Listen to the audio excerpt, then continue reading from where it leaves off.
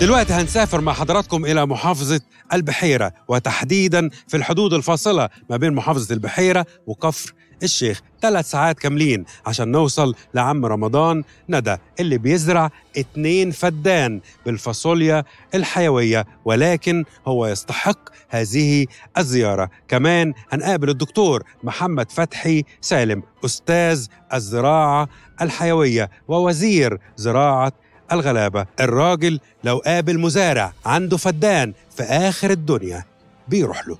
خليكم معانا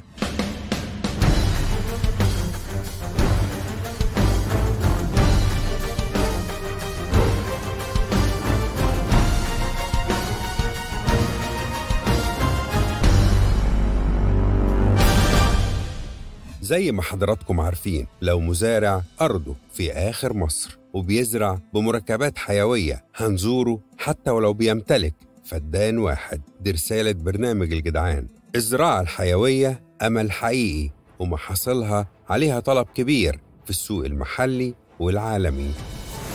حضراتكم دلوقتي في مركز الرحمنية في محافظة البحيرة وتحديدا على الحدود ما بين البحيرة وكفر الشيخ. هنقابل عم رمضان ندا. هو مزارع بسيط جدا ومتدين وبقاله سنتين بيزرع أرضه اللي هي يدوبك فدانين تقريبا بالمركبات الحيوية ال Nova Plus للتسميد وال Nova Key لمكافحة الآفات الحيوية. والمركبات دي زي ما حضراتكم عارفين ابتكرها فريق علمي برئاسة الدكتور محمد فتحي سالم رائد الزراعة الحيوية وأستاذ أمراض النبات والزراعة الحيوية بمعهد الهندسة الوراثية بكلية الزراعة جامعة السادات وأثبت إنها من أفضل المركبات الحيوية في مصر. عم رمضان ندى زارع أرضه بالفاصوليا الخضراء وعدد الأبراج في كل نبات الله أكبر شكلها يفرح بجد. ومؤشرات الإنتاج بتقول إنه فعلا موسم الخير للجدع الطيب ده. تعالوا نقابله. أنت راجل من أهم الناس اللي بتزرع الفاصوليا في مصر. وبتزرعها حيوي. تمام. تنتج انتاجيه حلوة. تمام. قبل الحيوي كنت بتزرع إزاي؟ والله أنا كنت بزرع بال- بالكيماوي باللي هو ال- اللي هو النترات واليوريا و... لما جربت واستعملت ال- Nova Plus السماد الحيوي ادالي منتج ممتاز وادالي كفاءة أفضل من ال- ال- الكيماوي. جارك عم رمضان زرع زيك فاصوليا وفي تمام. نفس الميعاد تحديدا صح؟ نفس, الميعاد اليوم. بالظبط نفس إحنا الاثنين اليوم. زارعين في نفس اليوم. النفار اللي زرعت هنا زرعت هنا هو زرع بالكيماوي؟ زرع بالكيماوي. يوريا ونترات وأنت وأنا زارع زرعت بالمنتج بالحيوي، بال... بال... اللي هو ال Nova Plus. الحيوي ال Nova Plus. وال Nova Key الرش لأن. الدكتور محمد طلب منك ترش هرش لأن هو. قال لي هتجيب نتيجة كمان. هتحول ال- الحاجة دي للزهر و... الزرع بتاعك فارق عن جارك بكتير. بكتير. أنت شغال في الكهرباء عم رمضان صح؟ مظبوط. أنت بتكهرب الزرع بتاعك. ده حصل. إزاي؟ الفرق اللي بينك وبينه وأنتوا زارعين في نفس اليوم. كهربت الزرع إزاي يا عم رمضان؟ والله أنا لما لما طبعا الموضوع ده عن تجربة سابقة ال Nova Plus دي عن تجربة سابقة السنة اللي عام اللي فات. فلما اشتغلت السنة دي فقلت له قلت له يا فلان اللي هو جاري يعني رغم إنه راجل كويس قرايبنا يعني ما فيش غريب فقلت له والله أنا بشتغل بكذا كذا قال لا ده أنا خليني بقى على النظام بتاعي الجديد انت حر بس النتيجة هتشوفها بعينك. فهو النهارده بيندم. طيب أنا فرحان بالإنتاج عندك وعايز أقول لك إن أنت عامل حاجة حلوة قوي والفاصوليا بتاعتك دي. نتمنى يجي اليوم إن الناس تقدرها وتعرف قيمتها لأن دي مزروعة حيوي لازم يبقى سعرها أفضل عشان أشجعك على التوسع في الزراعة دي. حاضر. كمان عايز أسألك تمام. سؤال. اسأل يا باشا. معروف إن الفاصوليا بتبقى برجين. تمام. صح؟ التالت ما بيطلعش كمان يعني. أيوه. أنت الأخبار عندك إيه؟ وأنا يعني فعلا ال- ال- الفاصوليا اللي أنا التزهير بيبقى برجين عشان الناس تفهم التالت ما بي... فعلا ظهر وقع. فعلا فعلا. مم. هي نظام الفاصوليا على على النظام قبل كده الفاصوليا كانت بتجيب أول برج اللي هي بتجيب القرون الأول وبعد كده بتجيب آه، البرج الثاني بعد 8 أيام. ولو جاب التالت بيرجع الزهر بقى خلاص هي بتكتفي على كده. دلوقتي هنقابل المهندس تامر نويجي وهو مدير الدعم الفني بمنطقة البحيرة في شركة Royal Green Technology المنتجة للمركبات الحيوية ال Nova Plus وال Nova Key أنا النهاردة واقف الفاصوليا أنا شايفها مبهرة بجد. الورق حلو التزهير حلو عدد الأبراج حلو. يعني وصلنا لده إزاي؟ ثانيا بنوصل إزاي بقى للناس كلها؟ أنا عايز الناس كلها تشوف الكلام ده. زي ما قلت لك يا أستاذ محمد المرة اللي فاتت أنا بعمل الأرض بتاعتي مراية للفلاح. يعني لو عدنا ال- الحلقة اللي فاتت بقول لك أنا بعمل الأرض بتاعتي مراية. يعني ما بروحش أعرض على الإيه؟ على الفلاح. إيه، ومع ذلك إن هو الفاصوليا اللي أنت شايفها الجار هنا والجار هنا فرق السماء والأرض. ده هو طبيعة الفاصوليا السنة دي للتغيرات المناخية. إحنا الحمد لله وبفضل الله رغم الظروف المناخية اللي إحنا بنمر بها السنة دي. يعني ممكن يوم حر وأسبوع بعده برد ودرجة الحرارة بتنخفض بين اليوم والتاني بال 16 درجة. ده يعني بتعمل استرس للنبات بطريقة رهيبة. صدمة. فإحنا بنكون عاملين حسابنا لكده متابعين الأرصاد الجوية وبنشوف. والدكتور محمد بيوجهنا دايما إن إحنا نرش النوفاكي إمتى؟ لما يكون في ظروف مناخية جاية بنرش استثنائي. ده أول حاجة. تاني حاجة النوفا بلس اللي هو محطوط في التربة. عندي فارق جدا مع الزرع عشان ما يعملوش ال- التقلبات ال- المناخية ما تعملوش إجهاد. فالحمد لله يعني إحنا بفضل الله زرعنا مميز. إيه، لازم إن إحنا نكون مميزين على طول لأن إحنا بدأنا من حيث انتهى الآخرين. يعني إحنا الناس على ما وقفت إحنا بدأنا بعدهم وبدأنا في التطوير.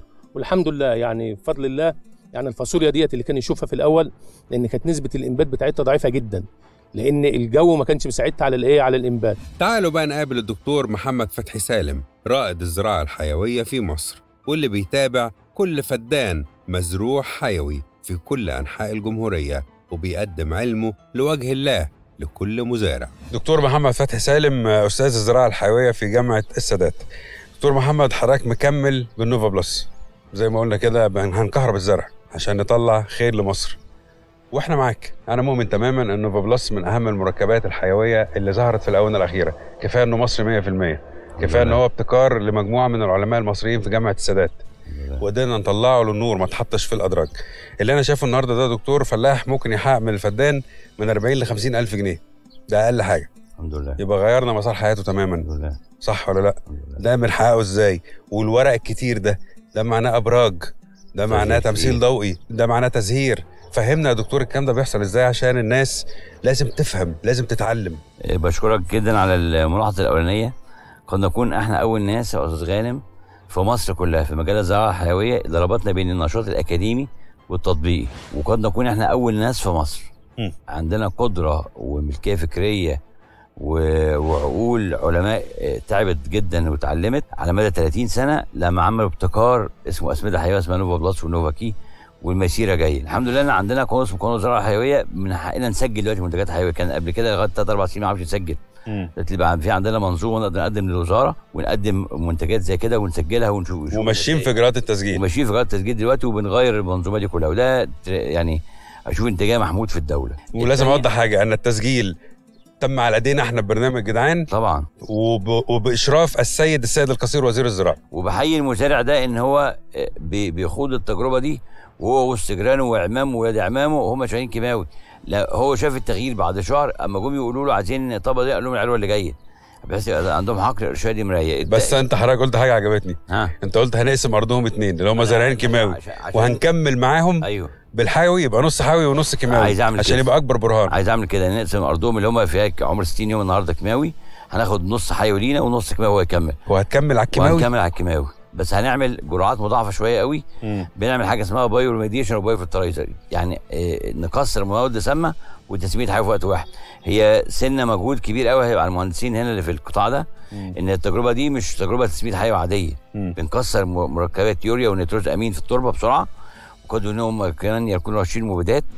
وعندنا مشكلة المفروض إن هم يكلموك عنها دي كفر الشيخ. كفر الشيخ بنفضل يا أستاذ غانم لغاية نص فبراير أول مارس مطر شديد جدا.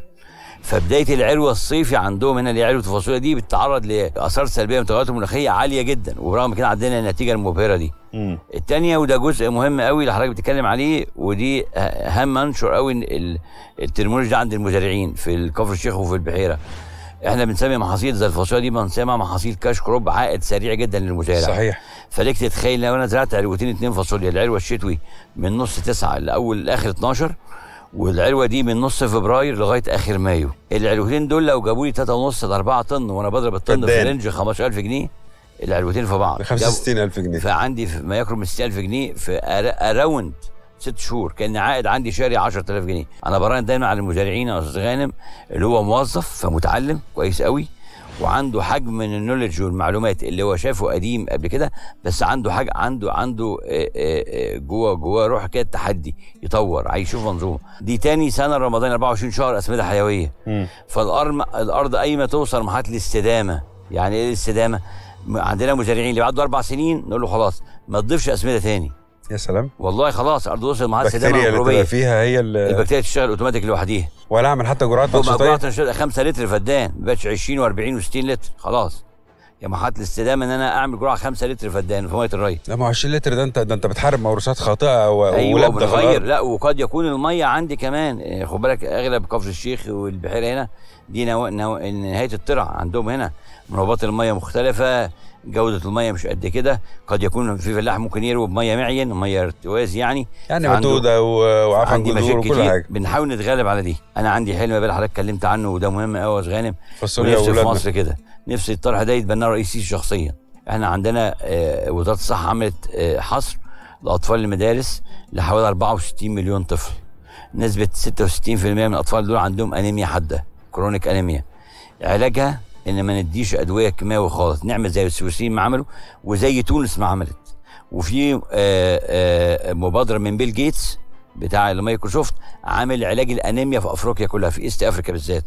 عاملين نوع معين من الفاصوليا زي اللي بتاعنا ده. في مادة اسمها فيريتين. المادة دي الطفل ياكل منها 60 جرام في اليوم بالمعلقة. فاصوليا مطبوخة cooked يعني. وفيها soup أحمر خفيف قوي زي الشوربة كده. الطفل يجص ياكلها مع عيش توست واحد مع نص رغيف عيش بلدي. الاثنين دول قادرين بفضل الله ب iron content عالية. أقل من 70 يوم الطفل بيتعالج من أنيميا نهائي فمش محتاج ياخد كده. فإيه اللي أقصده؟ هدفي من المبادرة دي إن يبقى عندنا ما يقرب من 320 ألف فدان فاصوليا حيوية. حيوي. دول فيهم مادة اسمها ferritin iron حديد غنية بال- بالحديد لعلاج أطفال المدارس. وال- والتقنية آه، موجودة ومستعدين نعمل سماد مخصص للقصة دي للجيش for free أقسم بالله يا for free. المبادرة دي, كلها أعتبرها for free. التوسع في الزراعة الحيوية مش مجرد أمل لحماية صحتنا دي كمان اقتصادية وبتحقق ربح كبير للمزارع لأن إنتاجيتها بتتفوق على الزراعات الكيماوية وبصورة كبيرة جداً.